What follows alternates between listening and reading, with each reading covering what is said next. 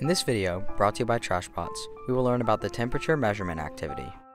For this activity, we will program a temperature sensor and compare the temperatures of different places. Step 1. Gather. Gather your TrashBot and tablet. Step 2. Connect. Connect your TrashBot to your tablet. Step 3. Program. Pull the button and temperature sensor blocks up to the chain.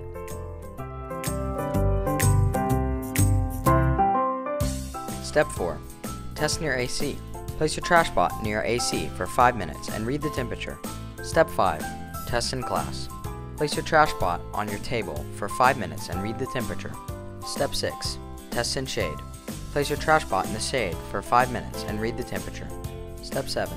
Test in sun. Place your TrashBot outside in the sun for 5 minutes and read the temperature. Step 8. Recap.